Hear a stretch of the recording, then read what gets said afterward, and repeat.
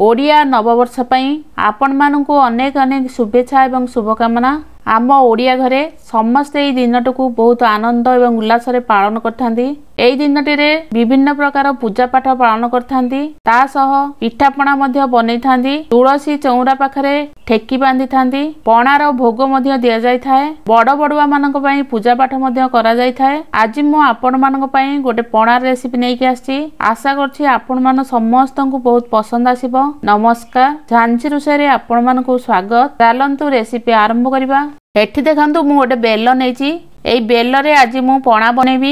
ଆପଣମାନେ ଚାହିଁଲେ ବେଲ ନେଇପାରିବେ ନହେଲେ ଖାଲି ମଧ୍ୟ ବନେଇ ପାରିବେ। ହେଲେ ବେଲ ଏଇ ସମୟରେ ଇଜିଲି ମିଳିଯାଉଛି ତେଣୁ ବେଲରେ ବନାନ୍ତୁ ଦେହ ପାଇଁ ବହୁତ ଭଲ ରହିବ। ଏଠି ମୁଁ ଫାଳେ ନଡ଼ିଆକୁ କୋରିକି ନେଇଛି ଆକୁ ମଧ୍ୟ ପଣାରେ ଦେବି। ଏଠି ମୁଁ ମିଶ୍ରି ନେଇଛି ପଣାରେ ଦେବା ପାଇଁ। ଆପଣମାନେ ଆ ଜାଗାରେ ଚିନି ମଧ୍ୟ ନେଇପାରିବେ। ହେଲେ ମିଶ୍ରିଟା ହେଲ୍ଦି ଅପସନ୍ ଅଛି।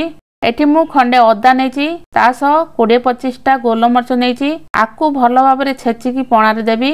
ଏଠି ମୁଁ ହାଫ୍ ଲିଟର କ୍ଷୀରକୁ ଦହି ବନେଇ ନେଇଛି ତାକୁ ମଧ୍ୟ ପଣାରେ ୟୁଜ୍ କରିବା। ବାକି ସବୁ ମୁଁ କଣ କଣ ନେଉଛି ଭିଡ଼ିଓ ଭିତରେ ମୁଁ ଗୋଟେ ଗୋଟେ କହିବି। ତେଣୁ ଚାଲନ୍ତୁ ପଣା ବନେଇବା ଷ୍ଟାର୍ଟ କରିବା। ପ୍ରଥମେ ଆମେ ବେଲକୁ ଫଟେଇଦବା। ତେଣୁ ମୁଁ ଏଠି ଗୋଟେ ହେମଦସ୍ତା ବାଡ଼ି ନେଇଛି ଏଥିରେ ମୁଁ ବେଲକୁ ଫଟେଇବି। ଏଠି ମୁଁ ବେଲଟାକୁ ଫଟେଇଦେଲି। ଆ ଭିତରେ ଥିବା ସବୁ ପଲ୍ସକୁ ବାହାର କରିଦବା। ଏଇପରି ପାଚିଲା ବେଲ ନେବେ ବେଶୀ ସ୍ୱାଦିଷ୍ଟ ଲାଗିବ। ଚୋପାରେ ବହୁତ ସବୁ ମଣ୍ଡ ଲାଗିଛି ଆକୁ ବି ଖୋଲିଦବା। ଏଠି ମୁଁ ସବୁ ପଲ୍ସକୁ ଖୋଲିଦେଲି। ଦେଖନ୍ତୁ ବହୁତ ସବୁ ମଣ୍ଡ ବାହାରିଛି। ଆ ଭିତରେ ମଞ୍ଜି ମଧ୍ୟ ଅଛି। ଏଠାରେ ମୁଁ ସବୁ ମଣ୍ଡ ଗୁଡ଼ିକ ଖୋଲିଦେଲି। ବହୁତ ଗୁଡ଼ିଏ ମଣ୍ଡ ବାହାରିଛି। ଆ ଭିତରେ ମଞ୍ଜି ମଧ୍ୟ ଅଛି। ତେଣୁ କ'ଣ କରିବା ନା? ଗୋଟେ ବାଉଲ ନେବା ଆ ଭିତରେ ସବୁକୁ ଦେଇଦେବା। ଏବେ ଆମେ ଗୋଟେରୁ ଦେଢ଼ ଗ୍ଲାସ୍ ପାଣି ଆ ଭିତରେ ଦେଇଦେବା। ଆକୁ ଭଲ ଭାବେ ହାତରେ ଚକଟି ନେବା। ଏହାଦ୍ୱାରା ଯାହା ସବୁ ମଞ୍ଜି ଏବଂ ଚେର ଥିବ ସବୁ ବାହାରିଯିବ ଏଠି ମୁଁ ସବୁକୁ ଭଲ ଭାବରେ ଚକଟି ଦେଲି। ଆକୁ ଆମେ ଯଦି ହାତରେ ଏହିପରି ଖୋଲନ୍ତି ସବୁ ବାହାରିବନି। ତେଣୁ ଆମେ କ'ଣ କରିବା ନା? ଗୋଟେ ବାଉଲ ନେବା ଉପରେ ଗୋଟେ ଷ୍ଟେନରକୁ ରଖିଦେବା। ଆ ଭିତରେ ସବୁ ମଣ୍ଡକୁ ଦେଇଦେବା। ଚାମଚରେ ଆମେ ଏହିପରି ଏପଟ ସେପଟ କରିନେବା। ଯାହାଦ୍ୱାରା ମଣ୍ଡ ସବୁ ତଳକୁ ଚାଲିଯିବ ଆଉ ମଞ୍ଜି ସବୁ ଉପରେ ରହିଯିବ। ଏଠି ଆମର ମଞ୍ଜି ଆଉ ଚେର ସବୁ ଛଣାରେ ରହିଗଲା। ଆକୁ ଆମେ ଫିଙ୍ଗିଦେବା। ଏଠି ମୋତେ ଟିକେ ବହଳିଆ ଲାଗୁଛି ତେଣୁ ଆଉ ହାଫ୍ ଗ୍ଲାସ୍ ପାଣି ଦେଇଦେବା। ଆକୁ ଆମେ ସାଇଡ଼ରେ ରଖିଦେବା। ଆଉ ଗୋଟେ ବାଉଲ ନେବା।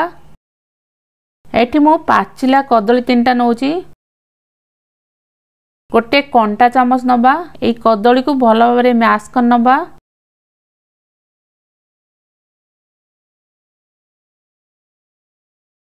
ସବୁକୁ ଏଠି ମୁଁ ମ୍ୟାସ୍ କରିଦେଲି। ଆ ଭିତରେ ଏବେ ପନେଇକି ରଖିଥିବା ଦହିକୁ ଦେଇଦେବା। ଯେତେ ଆପଣମାନେ ପଣା ବନେଇବେ ସେଇ ଅନୁସାରେ ଦହି ନେବେ। ଆଉ ଦହି ଟିକେ ଫ୍ରେଶ୍ ନେବେ ଖଟା ନେବେନି। ଏଇ ଦହିକୁ ଭଲ ଭାବରେ ଟିକେ ଫେଣ୍ଟି ଦେବା ଦହିକୁ ଏଠି ମୁଁ ଭଲ ଭାବରେ ଫେଣ୍ଟି ଦେଲି ଏଠି ମୁଁ ଅଦା ଏବଂ ଗୋଲମରିଚକୁ ଛେଚିକି ନେଇଛି। ଆ ଭିତରେ ଦେଇଦେବା ଫ୍ଲେଭରଟା ବହୁତ ଭଲ ଆସିବ। ମିଶ୍ରିକୁ ଏଠି ମୁଁ ଗୁଣ୍ଡ କରିକି ନେଇଛି। ଆ ଭିତରେ ତିନି ଚାରି ଚାମଚ ଦେବା। ବେଲଟା ଏବଂ କଦଳୀ ମିଠା ଅଛି। ତେଣୁ ଦେଖିକି ମିଠା କେତେ ପସନ୍ଦ କରନ୍ତି ସେହି ଅନୁସାରେ ମିଶ୍ରି ନେବେ। ସବୁକୁ ଭଲ ଭାବରେ ମିଶାଇ ଦେବା। ଏଠି ଆପଣମାନେ ଗୁଡ଼ ମଧ୍ୟ ନେଇପାରିବେ। ମୋ ଚ୍ୟାନେଲରେ ମୁଁ ବହୁତ ପ୍ରକାର ପଣାର ରେସିପିକୁ ଅପଲୋଡ଼ କରିସାରିଛି। ଆପଣମାନଙ୍କୁ ଦରକାର ଥିଲେ ମୋ ଚ୍ୟାନେଲକୁ ଯାଇ ଦେଖିପାରିବେ। ଆ ଭିତରେ ଏବେ ବେଲର ପଣାକୁ ଦେଇଦେବା। ନଡ଼ିଆକୁ କୋରିକି ରଖିଥିଲେ। ଆ ଭିତରେ ଆମେ କୋରା ନଡ଼ିଆ କିଛି ଦେଇଦେବା। ସବୁକୁ ଭଲକି ମିଶାଇ ଦେବା ଆପଣମାନେ ଯଦି ଆକୁ ଆହୁରି ହେଲ୍ଦି କରିବାକୁ ଚାହୁଁଛନ୍ତି ତେବେ ଆ ଭିତରେ ଚିଆ ସିଡ୍ କିଛି ଦେଇପାରିବେ ଡ୍ରାଏ ଫ୍ରୁଟ୍ କିଛି ଦେଇପାରିବେ ବୁନ୍ଦି ମଧ୍ୟ କିଛି ଦେଇପାରିବେ। ହେଲେ ମୁଁ ଆଜି ବେଲପଣା ବନଉଛି ସେଥିପାଇଁ ମୁଁ ବେଶୀ କିଛି ଦେଉନି। ସର୍ବତଟା ଦେଖନ୍ତୁ ଏଠି ବଢ଼ିଆ ଭାବରେ ବହଳିଆ ଅଛି। ଉପରେ ଆଇସ୍ କ୍ୟୁବ୍ କିଛି ଦେଇଦେବା। ଥଣ୍ଡା ଥଣ୍ଡା ପିଇବା ପାଇଁ ବେଶୀ ଭଲ ଲାଗିବ। ଏଠି ଆମର ପଣାଟା ବନିଗଲା। ଏବେ ଆକୁ ନେଇ ସର୍ଭ କରିବା। ଗ୍ଲାସର ଉପରେ ଦହି କିଛି ପ୍ରଥମେ ଦେଇଦେବା। ଆପଣମାନଙ୍କୁ ଆଜିର ଏଇ ଭିଡ଼ିଓଟି ଭଲ ଲାଗିଲେ ନିଶ୍ଚିତ ଭାବେ ଗୋଟେ ଲାଇକ୍ କରିବେ।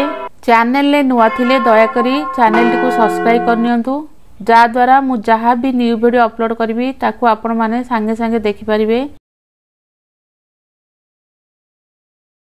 ଉପରେ କିଛି ନଡ଼ିଆ କୋରା ଦେଇଦେବା। ଡ୍ରାଏ ଫ୍ରୁଟ୍ କିଛି ଦେବା। ଏଠି ମୁଁ ଆଲମଣ୍ଡ କାଜୁ କିସମିସ୍ କିଛି ନେଇଛି ଆକୁ ସବୁ ଦେଇଦେବା। ଉପରେ ଲାଷ୍ଟରେ ଗୋଟେ ଚେରି ଦେଇଦେବା। ବହୁତ ସୁନ୍ଦର ଦେଖାଯିବ। ଏଠି ଆମର ସରବତଟା ବନିଗଲା। ଆପଣମାନେ ୟାକୁ ପିଇକି ଏନ୍ଜୟ କରନ୍ତୁ। କିପରି ଲାଗିଲା ନିଶ୍ଚିତ ଭାବେ କମେଣ୍ଟସ୍ ଲେଖି ଜଣାଇବେ। ରହିଲି। Thanks for watching